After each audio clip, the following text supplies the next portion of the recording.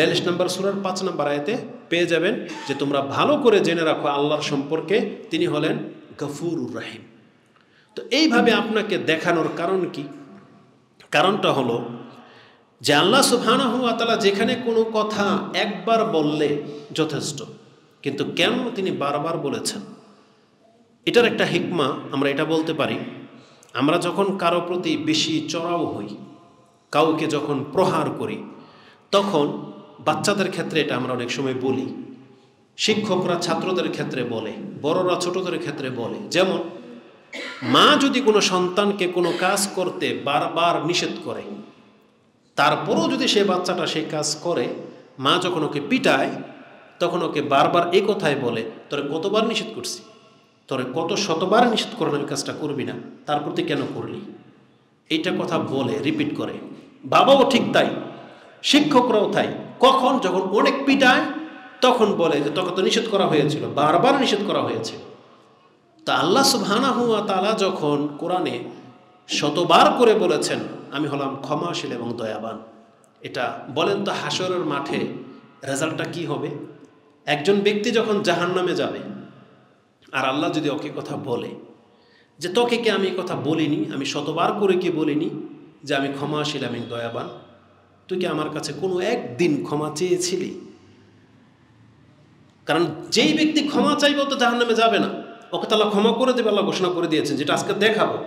তাহলে যেই ব্যক্তির আল্লাহর কাছে ক্ষমা চাইল না, যার ফলে ও যদি জাহান নামে যায়, ও কতটা লাঞ্ছিত হবে? আল্লাহ যদি ওকে বলে যে, বান্দা, আমি তো কোরআনে একশো বার করে বলেছিলাম যে, আমি ক্ষমাশীল, আমি দয়াবান, আমার কাছে ক্ষমা চাও। তুমি একবার চেয়ে দেখতা, তখন রেজাল্টটা কি হবে বলেন? তাহলে আল্লাহ সোবানা কথাটা বারবার বলেছেন যে আপনি কোরআন পড়তে থাকলে কিছুক্ষণ পরপরই পাবেন ইন আল্লাহ গফুরুর রাহিম, আল্লাহ গফুরুর রাহিম। কিছুক্ষণ পরপরই পাবেন। আল্লাহ বলেছেন, ক্ষমা চাও, তওবা করো। কেন? যাতে করে একটা মানুষ ভুল হলে আল্লাহর কাছে ফিরে আসতে পারে। তো এতবার বলার পেছনের কয়েকটা দিক হতে পারে। প্রথম দিক, যাতে করে কোনো বান্দা যত বড় পাপ সে করে ফেলুক, তারপরেও যেন সে আল্লাহর রহমত থেকে নিরাশ না হয়ে যায়। এই জন্য আল্লাহ কথাটাকে বারবার বলেছেন, কিছুক্ষণ পরপরই বলেছেন। যেমন বাপ, মা, সন্তানকে যেগুলো বিপর্যস্ত সন্তান, তাদেরকে আত্মীয় স্বজনরা বারবার বোঝায়, দেখ তুই কিন্তু অঘটন কোনো কিছু ঘটাবি না।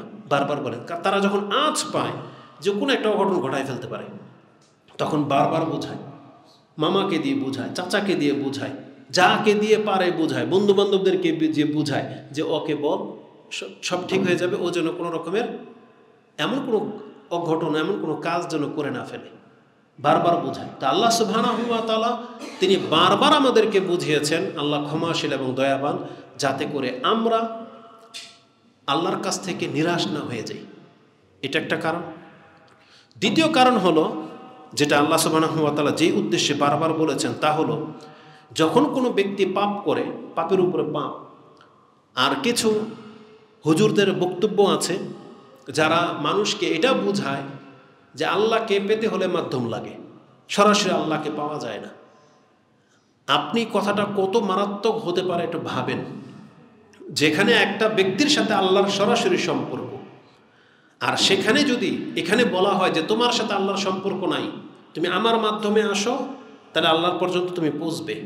এই যে একটা গ্যাপ তৈরি করে দেওয়া, এটা যে কত বিপজ্জনক কত বিপজ্জনক সেটা আপনি দুনিয়াবি ব্যাপার দিয়েও বুঝবেন। একজন ব্যক্তি যদি যে কোনো কাজ, সেটা ইলেকট্রিক বিল বলেন, গ্যাসের বিল বলেন পাসপোর্ট বানানো বলেন লাইসেন্স করা বলেন, অথবা ডাক্তারের, ডাক্তার দেখাতে বলেন, যদি সরাসরি গিয়ে আপনি সেটা করতে পারেন, আপনার পেরেশানি নাই কষ্ট হবে না। কিন্তু এটা যদি মাধ্যম ধরে ভায়া হয়ে যেতে হয়, কতগুলো দুর্নীতির খাত তৈরি হয়। এটা কত পেরেশানির ব্যাপার? আপনি অন্যকে টাকা দিলেন, তাও গ্যারান্টি নাই। আপনি এটা পাবেন কি পাবেন না। ও মেরে খেলে আপনার কিছু করার নেই। সময় নষ্ট, টাকাও নষ্ট। আর এটা কত একটা হাত ঘুরে যাওয়া, কত কঠিন হয়ে যায় তখন। ঠিক আল্লাহর ক্ষেত্রেও এমনটাই হয়েছে। যেখানে একজন ব্যক্তি আল্লাহকে ডাকলেই আল্লাহর সাথে তার সম্পর্কটা হয়ে যেত, আল্লাহকে সে পেয়ে যেত, যখন মাঝখানে আরও কতগুলো অলি যখন বসে গেছে, তখন এই ব্যক্তি সরাসরি এখন আল্লাহকে আর ডাকে না। ডেকেও মজা পায় না। ওই জন্য মসজিদেও আসে না। এই জন্য বিভিন্ন ভুল হলেই, অপরাধ হলেই, ঘাটতি হলেই বিভিন্ন মাজারে মাজারে দরফারে অথচ ও আল, মসজিদে আসলে আল্লাহকে পেয়ে যেত। ও নামাজে দাঁড়াইলেই আল্লাহকে পেয়ে যেত, কিন্তু ওর আস্থা হয় না। কেন? আজকে মুসলিমদের সাথে আল্লাহর যে বৈপরীত্যটা তৈরি করে দেওয়া হয়েছে, যেখানে বুখারি এবং মুসলিমের মধ্যে চারটা নাম্বার আমি আপনাকে বলতে পারি। মুসলিমে যেহেতু অনেক আগের বক্তব্য নাম্বারিং মিস্টেকও হতে পারে, দেখে নেবেন। সম্ভবত এক হাজার এক বা এক হাজার দশ মুসলিমে আছে। বুখারিতে চারশো চারশো পঁয়ষট্টি, তিপ্পান্ন, চারশো পঁয়ষট্টি এবং চারশো বা সাতশো পঁয়ত্রিশ। এই চারটা নাম্বার আপনারা দেখবেন, যেখানে নামাজের কথা আছে।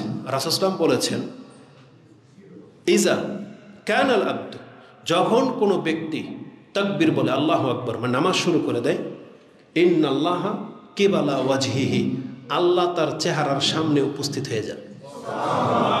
বুখারি মুসলিমের মধ্যে এটা আছে।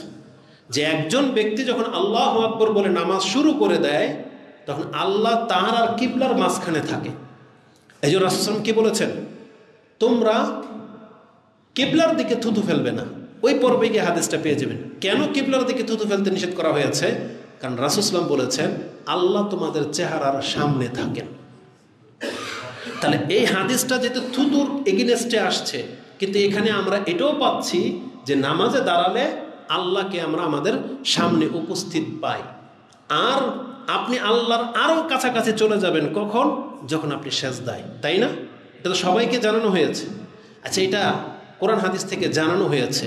তাহলে যারা বিপদে আছেন, যাদের বিয়ে হয় না বা যাদের সন্তান হয় না, যাদের অসুস্থতা, সুস্থ হচ্ছেন না, তাহলে আপনারা রাসুল বলেছেন তুমি সেজদায় পড়ে গেলে আল্লাহকে পাবে। তা আপনি নামাজে কেন সেজদায় এসে পড়ে যান না? আপনি কেন চলে যান সিলেটে? কেন চলে যান আপনি মাইজ ভান্ডারে? কেন চলে যান আপনি বাগদাতার ওই আজমিরে? কেন? তার মানে আপনার আস্থা হচ্ছে না রাসুসলামের কথার প্রতি। বুখারি মুসলিমের হাদিসের প্রতি আপনার আস্থা হচ্ছে না, যেখানে বলা হচ্ছে একজন ব্যক্তি মসজিদে এসে আল্লাহ আকবর বলে নামাজে দাঁড়িয়ে গেলে সে আল্লাহর সামনে চলে আসে। ইউনাজি রব্বা। মুসলিমের, বুখারের আরেক বর্ণনা আসছে ইউনাজি রব্বা, সে যেন তার রবের সাথে এখন মোনাজাতে লিপ্ত। বলেন কি বলবেন আল্লাহর কাছে? কিন্তু দেখেন, কোরআন হাদিসের প্রতি আমাদের আস্থা নাই। ওই যে কিছু পীর, আলেম দরবে সেজে বসে আছে, সে আপনার কানের মধ্যে এটা ঢুকিয়ে দিয়েছে যে, পাপি বান্দা তো সরাসরি আল্লাহকে পাবে না। আল্লাহকে পেতে হলে মাধ্যম লাগে। যখনই এই মেসেজ আপনাদের কাছে দিয়ে দিয়েছে যে, আল্লাহর অলি ছাড়া আপনি আল্লাহকে পাবেন না তখন ইবাদতের প্রতি এখন আর আপনার মন লাগে না। আপনি এখন চোরা রাস্তা খুঁজতেছেন। যে কীভাবে অলিকে কিছু নজর নিয়াজ দিয়ে আল্লাহ পর্যন্ত পৌঁছে যাওয়া যায়, তাহলে আমার নামাজ লাগে কেন? আজকে অধিকাংশ মানুষ নামাজ ছেড়ে দিয়েছে শুধু এই এই সবগুলো কারণ। না, বরং আমি আপনাকে দেখাতে চাই, আল্লাহ সুবানাহুয়া তালার সাথে তার প্রত্যেকটা বান্দার গাঢ় সম্পর্ক রয়েছে। আল্লাহ যে কোনো বান্দার ডাক শোনেন এবং তাকে ক্ষমা করা হবে। এই জন্য আল্লাহ বারবার বলেছেন, আমার কাছে ক্ষমা চাও। তৃতীয় আরেকটা পয়েন্ট হলো যে আল্লাহ সুবহানা হুয়া তালা বারবার বলার পেছনে মূল কারণ হলো কোনো বান্দা যেন এটা না ভাবে যে আমি তো পাপ করে ফেলেছি এই জন্য হয়তো আল্লাহর সাথে আমার সম্পর্কটা কেটে গেছে। আল্লাহ হয়তো আমার আমার দিকে আর তাকান না, বা আল্লাহ হয়তো আমাকে আর ছুঁড়ে ফেলে দেবে। এটা হচ্ছে মানুষের স্বভাব। কারণ আমরা দেখা যায় যারা অন্যায় করি, অপরাধ করি, সমাজের লোক তাদেরকে দেখতে পারে না। বাপমাও দেখতে পারে না এরকম দুষ্ট টাইপের পোলাপানদেরকে। কিন্তু আল্লাহ সুবাহানা এমন নন। কারণ আল্লাহ হচ্ছেন রব, আল্লাহ হচ্ছেন মালিক, আল্লাহ বলছেন, আমি হলাম রহমান। এজন্য আল্লাহ তার কোনো পাপি বান্দার থেকে মুখ ফিরিয়ে নেন না। বরং আমরা বান্দা যারা আছি, তারাই মূলত আল্লাহর থেকে মুখ ফিরিয়ে আছি। আল্লাহ কোনোদিন আমার কাছ থেকে মুখ ফেরান না, আপনার কাছ থেকে মুখ ফেরান না। একটা একটা যুক্তি দিয়ে এক্সাম্পল দেখেন। তুব, আরবি ভাষায় হচ্ছে বলা হবে, তুব ইলাল্লাহ। যেমন আমরা বললাম, তুবু ইলাল্লাহ। কোরআনে আছে না? বা তুবু ইলাল্লাহ। তোমরা আল্লাহর দিকে ঘোরো। এই যে তুব শব্দটা তো আরবি। বাংলায় আমরা বলি যে তোমরা আল্লাহর কাছে তওবা করো, তাই না? তওবা শব্দটাই তো আরবি। এটা বাংলা কি? ফিরে আসো, আল্লাহর দিকে ঘোরো। মানে তুব, ইউ ইউ টার্ন যেটা। ইউ করো তুমি। তুমি উল্টা পথে যাচ্ছিলা, ঘুরে আসো বান্দা। এটাই না হয়? তাহলে এবার কথাটা এবার বোঝেন। আল্লাহ ধরেন এখানে দাঁড়ানো, উপস্থিত। আল্লাহ যদি কোনো ব্যক্তিকে বলে, তবু ইলাল্লাহ ফাফিরু ইলাল্লাহ আল্লাহর দিকে ফিরো। এই যে ফাফিরু ইলাল্লাহ, সুরা এটা আপনার জারিয়াতের মধ্যে পেয়ে যাবেন। একান্ন নম্বর সুরাতে। ফাফিরু ইলাল্লাহ, পঞ্চাশ নম্বর আয়াতের মধ্যে রয়েছে সম্ভবত। তা আল্লাহ বলছে, আল্লাহর দিকে ফিরো বা আল্লাহর দিকে ঘোরো। এটা কখন হয় জানেন? এটা এক্সাম্পল নিয়ে নেন। ধরেন আপনি কোনো ফ্রেন্ডের সাথে, কোনো ভাইয়ের সাথে দেখা করতে গিয়েছেন গরিবপুরের স্টানে আপনি চিনেন না সে কোন প্রান্তে আছে। সেও আপনাকে দেখতে পেয়েছে কারণ আপনি খুঁজতেছেন সে কোথায়। আপনি বলছেন, আমি তো আসছি। তখন সে আপনাকে যদি ফোন দিয়ে বলে যে, এই যে আমি এই দিকে এই দিকে তাকাও, তোমার ডান দিকে। তুমি ডান দিকে ঘোরো। আপনি ইশারা করতেছেন, আর ও যখন আপনাকে ডান দিকে ঘুরবে, আপনি দেখতে পাচ্ছেন যে ও আপনার দিকে হাত ইশারা করে রেখেছে। তার মানে ও কিন্তু আপনাকে দেখেছে, কিন্তু আপনি দেখেন নাই। এই ও আপনাকে বলেছে যে তুমি এই দিকে ঘুরো, তুমি আমাকে দেখতে পাইবা। তখন এবার বলেন তো দেখি, আল্লাহ যখন কোনো বান্দাকে বলে যে, বান্দা, তুমি এই দিকে ঘোরো, তোমার রবের দিকে ঘুরো তার মানে কি? তার মানে আল্লাহ সব সময় তার বান্দার দিকে তাকিয়ে থাকেন। বান্দা উল্টা দিকে ছিল। এই আল্লাহ বলছেন, বান্দা, আমি তো তোমার দিকে তাকিয়ে আছি। তুমি ঘোরো, ঘুরলেই আমাকে পাবে। এটাই না তো এটাই তো আল্লাহ বলছেন ফির রইল আল্লাহ ফিররু মানে হচ্ছে পালাও। তাহলে আল্লাহ বিপদ থেকে পালাতে বলে। অথচ এখানে আল্লাহ বলছে, আল্লাহর দিকে পালাও। তার মানে বিপদ যাই আসছে, তুমি আল্লাহর কাছে আসলে বিপদ থেকে মুক্তি সেফ এটা হচ্ছে, আল্লাহ হচ্ছেন আশ্রয়স্থল। এই জন্য আল্লাহ বারবার বলেছেন, আল্লাহ ছাড়া কে আছে তোমাদেরকে সাহায্য করবে? আল্লাহ ছাড়া কে আছে তোমাদেরকে উদ্ধার করবে? আল্লাহ ছাড়া কে আছে তোমাদেরকে ক্ষমা করবে? সে কথাটা আছে এই কথাগুলো আজকে আসবে। কারণ আল্লাহ বলেছে না অমাইয়াগু ফিরু জুনু বা ইল্লাল্লাহ। কে আছে আল্লাহ ছাড়া তোমাকে ক্ষমা করতে পারে? কেউ নাই। তো এই জন্য বলছে ফির ইল্লাল্লাহ তো এই জন্য আল্লাহ সুবাহ বারবার আমাদেরকে বলেছেন যে, আমি হলাম ক্ষমাশীল এবং দয়াবান। তো এই কথাগুলো আজকে আমি আপনার কাছে প্রমাণ করব যে, পাপ করলে বা আল্লাহর সাথে তার বান্দার সম্পর্ক কেটে যায় না। যতক্ষণ পর্যন্ত এই বান্দা আল্লাহর কাছ থেকে মুখ ফিরিয়ে অন্য কোনো মাবুদের দিকে না ঝুঁকবে।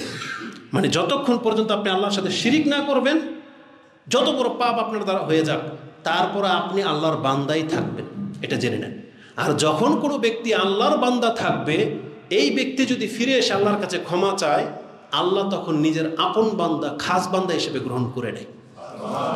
এটা আমি আজকের বক্তব্যে দেখাবো। এবার আসুন আমার কথার প্রেক্ষিতে যে দলিলগুলো কোরআন হাদিসে রয়েছে, সেটা কি আছে? এক এক করে সেই আয়াতগুলো আমি আপনাকে দেখাই। প্রথমে আসুন।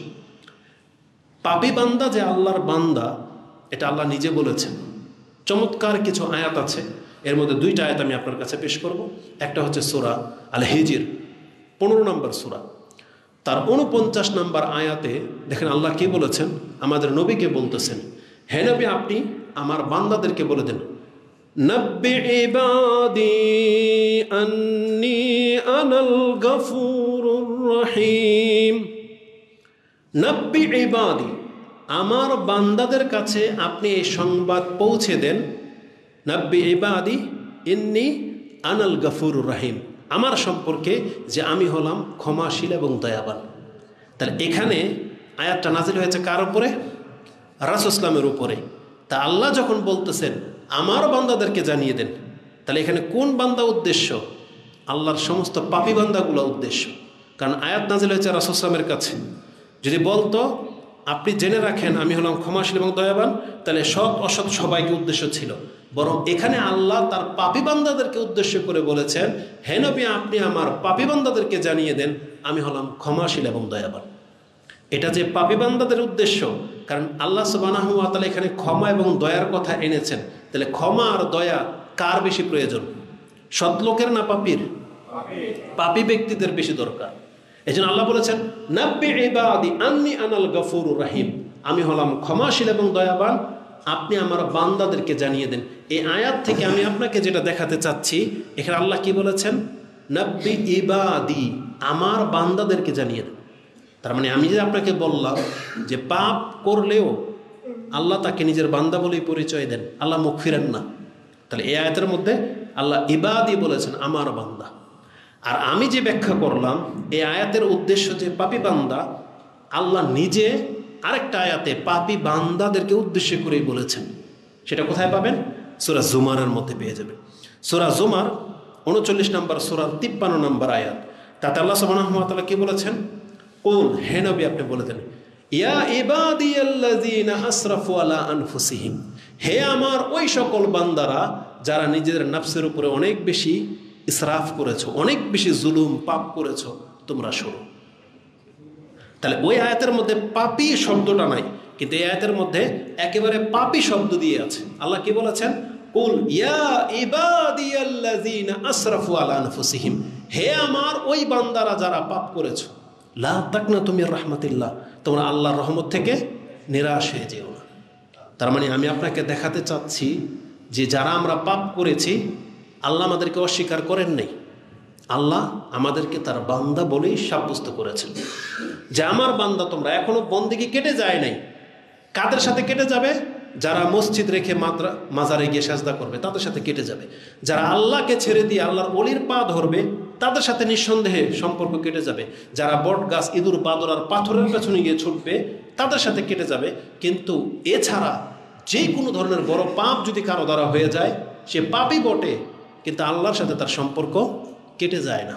এটা হচ্ছে দেখানোর বিষয়। তাহলে আমি দুইটা আয়াত আপনার কাছে পেশ করেছি।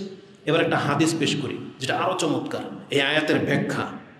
আবু হরাই রাদিয়াল্লাহ তালাহ থেকে সেই হাদিসটি ইমাম মুসলিম রাহমাহুল্লাহ কোট করেছেন, যেটা আপনি তাওবার অধ্যায়, পঞ্চাশ নম্বর অধ্যায় পেয়ে যাবেন। হাদিস হচ্ছে ছয় হাজার আটশো উনআশি সিক্স এইট সেভেন নাইন হাদিস ফাউন্ডেশনের নাম্বারে, বাংলা অ্যাপস, আল হাদিসের অ্যাপসে পেয়ে যাবেন। সিক্স এইট সেভেন নাইন ইমাম মুসলিম কোট করেছেন। আল্লাহ সুবহানা তালার সম্পর্কে রাসুল রাসুল্লাহ সাল্লাহ সাল্লাম বলেন, ফিমা ইয়াহকি আন রাব্বিহি আজ্জাওয়াজাল আল্লাহ, তিনি এটা আমাকে জানিয়েছেন বা তিনি বলেন, কলা আজ না বা আব্দুল জাম্বান। ফকালা আল্লাহ হুম্মা গফিরিলি জাম্বি। একজন বান্দা যখন পাপ করে, পাপ হয়ে যাওয়ার পরে যখন আল্লাহকে এই বলে ডাকে আল্লাহ হুম্মা গফিরিলি জাম্বি, হে আল্লাহ, তুমি আমার অপরাধকে ক্ষমা করে দাও। যখন কোনো পাপি বান্দা এইভাবে আল্লাহর কাছে ক্ষমা চায়, তখন আল্লাহ কি বলেন সেটা শোনেন। যখনই কেউ বলে আল্লাহ হুম্মা গফিরিলি জাম্বি হে আল্লাহ, তুমি আমার পাপকে মাফ করে দাও তখন আল্লাহ সুবহানা হুয়া তালা রিপ্লাই দেয় এইভাবে ওকালা তাবারাকা ওয়া তাআলা, আজনাবা আবদি জাম্বান ও আলিমা আন্নালাহু রাব্বান বা রিব্বান, ইয়াগফিরু জাম্বা ওয়ায়াহুযু বিজাম্বিন যে আমার বান্দা এটা জেনে গেছে যে ওর এমন একজন প্রতিপালক আছে, যেই প্রতিপালক চাইলে ওর এই পাপের কারণে এখন ওকে শাস্তিও দিতে পারে। আবার যে প্রতিপালক চাইলে ওর এই পাপটাকে এখন ক্ষমাও করে দিতে পারে। আমার বান্দা এটা জেনে গেছে, তার মানে কি বুঝলেন? হাদিস আর কিছু বলা হয়নি। তার মানে যখনই কোনো ব্যক্তি আল্লাহর কাছে এইভাবে ডাকে আল্লাহ গফিরলি জাম্বি তখন আল্লাহ বলেন এই কথা, আজ না বা আব্দি জাম্বান এই হাদিসের মধ্যে যেই জিনিসটা আমি আপনাকে দেখাইতে চাচ্ছি, এটা এখানে আছে। আরেকটু লম্বা আছে, সেটা একটু বলি। ওই বান্দা যখন আবার পাপ করে আবার যখন বলে, আই রব্বি গুফিরিলি জাম্বি হে আমার প্রতিপালক, আমাকে আপনি ক্ষমা করে দেন। তখন আল্লাহ আবার তাকে রিপ্লাই এ কথাই বলে যে, আজনাবা আব্দি জাম্বান ও আলিমা আন্নালাহু রিব্বান ইয়াগুফিরু বিজাম্বিন ও বিজাম্বিন যে আমার বান্দা জেনে জেনে গেছে যে ওর যে পাপটা হয়ে গেল আমি চাইলে ওর পাপের কারণে ওকে ধরতেও পারি, আবার চাইলে এই পাপের কারণে আমাকে ছেড়েও দিতে পারি। আমার বান্দা যখন আমার সম্পর্কে এই জ্ঞান রাখে, ও আর কারও কাছে যায় না, ও আমার কাছে পাপ হয়ে গেলে আমার কাছে ফিরে আসে, তখন আল্লাহ তাকে রিপ্লাইটা এইভাবে দেয়।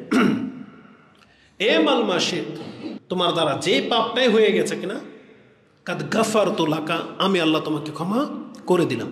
এটা ইমাম মুসলিম কোট করেছেন, যেমনটা আমি আপনাকে বলেছি। যাই হোক, আপনার এইদিকে ধ্যান দেন। সেটা হচ্ছে, এটা হাদিসটা মুসলিমের হাদিস। কেন আমরা বারবার যখন হাদিস বলি, গুরুত্ব দেখানোর জন্য যখন বলি বুখারি, মুসলিম আবুদাউ তিরমিজি, এটা হচ্ছে পরিচিত কিতাব। যাতে করে আপনার আস্থা হয় এবং আপনি সহসায় খুঁজে পান। খেয়েছে যাতে আপনি সহজেই খুঁজে পান। আপনাকে ওই দুর্লভ কিতাবের কথা বলব না, যেখানে খুঁজে পেতে আপনার হয়রান লাগবে প্যারেশান লাগবে। বরং হাদিস মুসলিমে।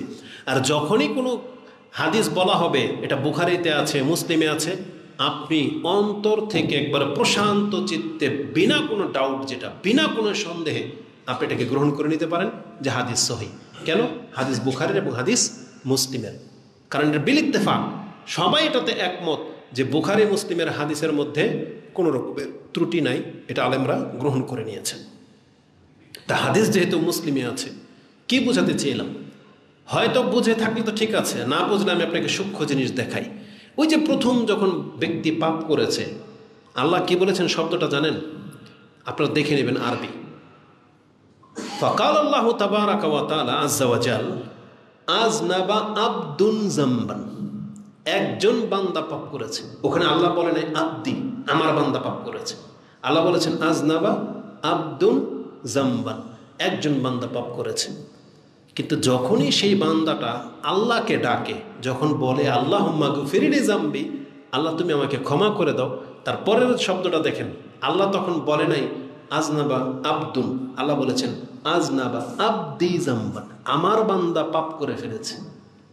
কি মনে করলেন?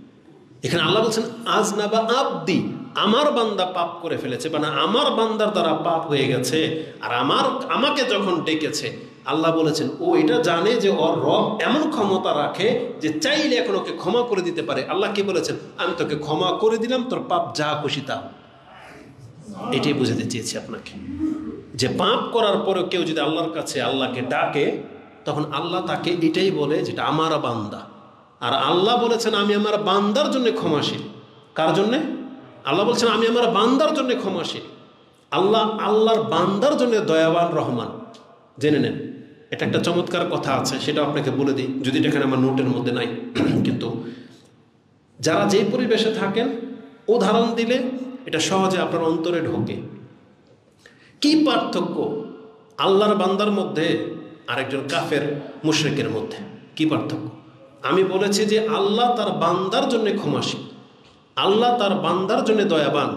কি পার্থক্য? আল্লাহ সবানাহাতালার দুইটা শব্দ পাশাপাশি, রহমান এবং রাহিম। আপনি কি জানেন এই পৃথিবীর জন্য আল্লাহ হচ্ছেন রহমান? কিন্তু পরকালে কিন্তু আল্লাহ রহমান রূপে আসবেন না। পরকালে আল্লাহ কোন রূপ থাকবে? রাহিম। মানে রাহিম রহমানের চাইতে সংকীর্ণ। রহমান হচ্ছে প্রশস্ত। মানে রহমান সবার জন্য রহমান। আর রাহিম, তিনি সবার জন্যে রাহিম ন রাহিম হলো বিশেষ বিশেষ ব্যক্তিদের জন্য রাহিম। যেমন আমরা, মানুষের একটা গুণ হলো রাহিম। যেমন রাসুসলামকে রাহিম বলা হয়েছে। মানে মানুষের মধ্যে দয়া আছে, কিন্তু আল্লাহর মতো এত বিশাল আর ব্যাপক দয়া নাই বিদায় কোনো মানুষ রহমান হইতে পারে না। তবে দুনিয়ার জন্য আল্লাহ রহমান কেন? কারণ আল্লাহ যদি রহমান না হতেন তাহলে কাফেরকে আল্লাহ এক ঢুক পানিও দিতেন না।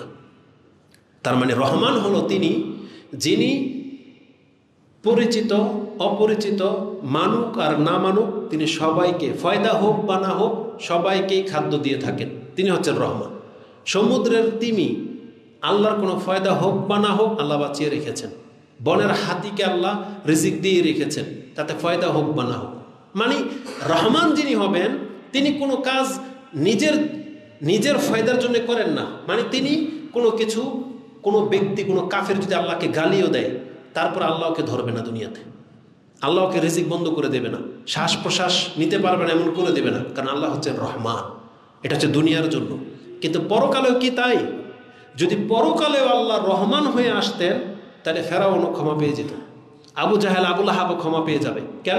কারণ দুনিয়াতে যেভাবে ওরা রিজিক পেয়েছে, বরং অনেক মুসলিমের চেয়ে অনেক বেশি রিজিক পাচ্ছে কাফের। এটা রহমানের কারণে। কিন্তু কেয়ামতের মাঠেও যদি আল্লাহ রহমান হয়ে আসেন, তার এই সমস্ত পাপি এই কাফের নাস্তিকরা ক্ষমা পেয়ে যাবে। কিন্তু আল্লাহ কি বলেছেন? না, কেয়ামতের মাঠে আমি শুধু আমার বান্দাদের জন্য ক্ষমাসী আমি শুধু রহমান, রাহিম হলাম আমার বান্দাদের জন্য। বলেছিলাম যে এটাকে বোঝানোর জন্য একটা উদাহরণ দিই। আমাদের প্রত্যেকের মাঝে দয়া আছে, সবার অন্তরে দয়া। কত দয়া দেখেন না যে একটা পশু পাখির বাচ্চা যদি গাড়ির নিচে পড়ে যায়, আপনি দৌড়ে গিয়ে এটাকে ধরেন, পানি খাওয়ান, তাই না? এটা দয়ার কারণে হয়েছে। আচ্ছা কেমন দয়া আপনার বলেন তো? আপনি যখন আমাদের মা বোনরা এটা বেশি করে, পুরুষরা খুব কমই করে, কারণ মুরগিকে আদার কে দেয় বেশি? মহিলারা দেয় না? তা মহিলাদের এই দৃশ্য দেখেছেন? এটা বলেছিলাম কোনো বক্তব্যে যে সে মুরগিকে আদার খাওয়াচ্ছে। কত দয়া তার। একশো টাকা কেজি চাউল এখন, সে চাউল এনে মুরগিকে খাওয়াচ্ছে। তার চার পাঁচটা মুরগি। যখন পাশের বাড়ির একটা মুরগি চলে আসে, সেটা চাচি, নানি, দাদির আশেপাশের যার হোক, সে কি করে এই মহিলা? ওই মুরগিটাকে একটু দেয় না কি করে? সরাই দেয়। পারলে হাতের সামনে যা থাকবে তা দিয়ে মারবে। মারবে না? আচ্ছা এমন কি ক্ষতি হয়ে যেত? ওই মুরগিটা যদি দুই, তিন ঠোকর খেয়ে নিত, কি ক্ষতি হইতো? কোনো ক্ষতি হইতো? আরে এক মোট চাউল তো আপনি ফেলেই দিয়েছেন। কয়টা ওর খেত? কোনো ক্ষতি হতো না, কিন্তু এটা হচ্ছে মানুষের ফিতরত। ফিতরত কি? এগুলো হচ্ছে আমার মুরগি। এটা কি? এগুলো আমার মুরগি। এটা তো আমার না। ও এক দানা খাক নাহলে দুই দানা খাক, ওকে দিবেই না কারণ এটা আমার না। এই জন্য আল্লাহ সুবাহতাল বলছেন, কেয়ামতের মাঠে এমন কিছুই ঘটবে। যারা আমার বান্দা, আল্লাহ বলেছেন, ক্ষমা শুধু তারা পাবে। যারা আমার বন্দিকে মেনে নেয় নাই, অন্যের গোলামি করেছে অন্যকে মাবুদ বানিয়েছে, তোর আগে তার কাছ থেকে ক্ষমা নেই তোদের জন্য আমার কোনো ক্ষমা নেই। এটা হচ্ছে আল্লাহ সুবাহ রাহিম হওয়া। এই জন্য কেয়ামতের মাঠে শুধু মুসলিমরাই ক্ষমা পাবে, কারণ মুসলিমরা আল্লাহকে রব হিসেবে মেনে নিয়েছে। কোনো কাফের, কোনো ব্যক্তি যত বড় সচ্চরিত্রের হয়ে যাক না কেন, কেয়ামতের মাঠে ক্ষমা পাবে না, কারণ আল্লাহর বন্দিকে কে মেনে নেয়নি? ও যে আল্লাহর বান্দা এটাকে মেনে নেয়নি? তখন আল্লাহ তাকে বলবে, তুমি তোমার রবের কাছ থেকে পারলে ক্ষমা নিয়ে নাও, আমার ক্ষমা তোমার জন্য না। আমার ক্ষমা আমার বান্দাদের জন্য। এই জন্য বলেছে আমাদেরকে আল্লাহ সুবাহ এখানে বলেছেন আজ না বা আব্দি জাম্বা। আমার বান্দা পাপ করে ফেলেছে। এই জন্য আপনাকে বোঝাতে চেয়েছি, আপনি পাপি হলেও যদি আল্লাহর বান্দা হিসেবে পরিচয় দিতে পারেন এই পৃথিবীতে, আর আল্লাহর বান্দা এই পরিচয় নিয়ে যদি মরতে পারেন, আপনার কত পাপ আছে? আল্লাহ বলছেন তোর সমস্ত পাপ আমি দেখে নেব। কিন্তু আপনাকে গ্যারান্টি দিতে হবে যে আল্লাহ তোমার ছাড়া আমার এই কপাল আমি অন্য কারও জন্য ঝুঁকাই নেই এটা আপনাকে গ্যারান্টি দিতে হবে। তোমার ছাড়া আমি কারও কাছে কোনো কিছু চাইনি। তোমার ছাড়া আমি কোনোদিন মনে করি না যে আমারও অন্য কেউ রিজিক দিতে পারে, আমার সন্তান দিতে পারে, আমাকে ক্ষতি করতে পারে, আমাকে উপকার করতে পারে। আল্লাহ তুমি ছাড়া আর কাউকে আমি এটা মনে করি নেই। আল্লাহ যত বড় পাপ হয়ে যাক না কেন, আল্লাহ আপনাকে ক্ষমা করবে। দলিল ছাড়া আমি দলিল আপনাকে দেখাবো যে আল্লাহর বান্দাকে আল্লাহ কত পাপের সাথে ক্ষমা করতে পারেন, এই জন্যই তো আজকের আলোচনা, তাই না? তো এই যে দুইটা আয়াত এবং হাদিস বললাম, কেন? আমি প্রমাণ করতে চেয়েছি, যাদের দ্বারা অন্যায়, ভুল, পাপ হয়ে যায়, তারা তখনও আল্লাহর বান্দাই থাকে। আল্লাহ তাকে কথা বলে নাই যে তোমার সাথে আমার কোনো সম্পর্ক নাই। আল্লাহ আমাদেরকে সম্পর্ক ছিন্ন করেন না। বরং আমরাই আল্লাহর কাছ থেকে দূরে আছি। বরং আল্লাহ তো পাচক তো ডাকার ব্যবস্থা করেছেনি মোয়াজিনকে দিয়ে আল্লাহ বলে না? হাইয়া আল্লাহ সলাহ, আসো নামাজে। হাইয়া আল ফালাহ, আসো মুক্তির রাস্তায়। এই এই ঘোষণাকে আল্লাহ শুধুমাত্র ওই সৎলোকদেরকেই দেয়। সবাইকে আমভাবে ডাকেন। পাপীদেরকে আল্লাহ ডাকেন। যে তুমি তো পাপ করে অন্যদিকে চলে গেছো। তাহলে আমার পক্ষ থেকে এলান হলো তুমি ফেরত আসো, আমি তোমাকে অস্বীকার করি নাই। তুমি বান্দা মুখ ফিরেও না, তুমি আসো আমার দিকে। এটা নিয়ে ডাকা হয়, কারণ তওবার রাস্তা সমস্ত পাপের জন্য খুলে রেখেছেন আল্লাহ। কতক্ষণ পর্যন্ত? কেয়ামত পর্যন্ত।